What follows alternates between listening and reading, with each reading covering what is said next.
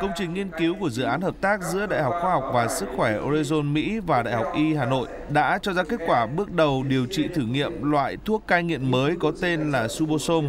Kết quả thử nghiệm cho thấy so với methanol đã được sử dụng lâu nay thì Suboxone có nhiều ưu điểm hơn như người điều trị chỉ cần uống 2 đến 3 lần trên một tuần, trong khi đó với thuốc methanol khi điều trị phải uống thuốc hàng ngày. Mặt khác, Suboxone không tương tác với thuốc kháng virus HIV,